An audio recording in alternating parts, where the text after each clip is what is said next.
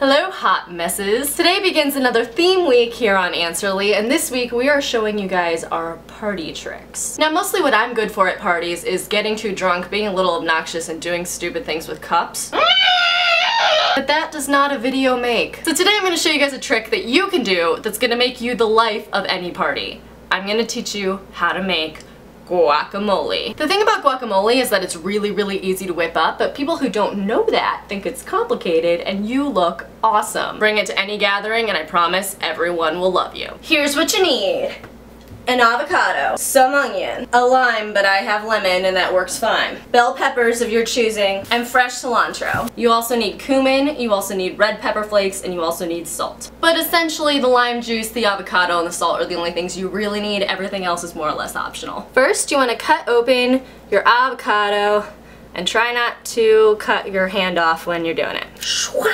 Use a spoon to scoop all the avocado out and put it into a bowl. Next you want to cut off a slice of your lemon or your lime and squeeze all of the juice into the avocado in the bowl.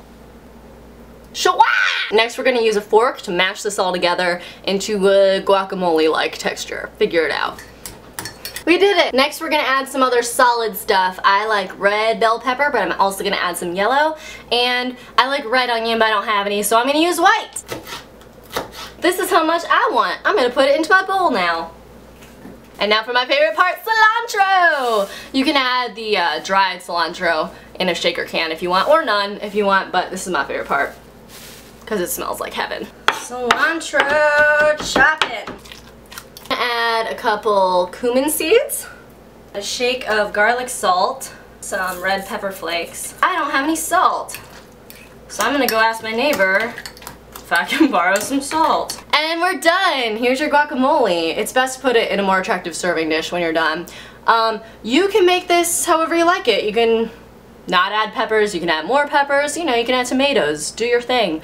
Uh, also, this is really easy to multiply. This recipe probably feeds like one really hungry person or like four polite snackers. So, you know, do the math. So I hope you enjoyed learning about my party trick and let me know if you try this and I hope you have a fun time watching Joe's and Christina's later this week. I'll see you guys on Monday.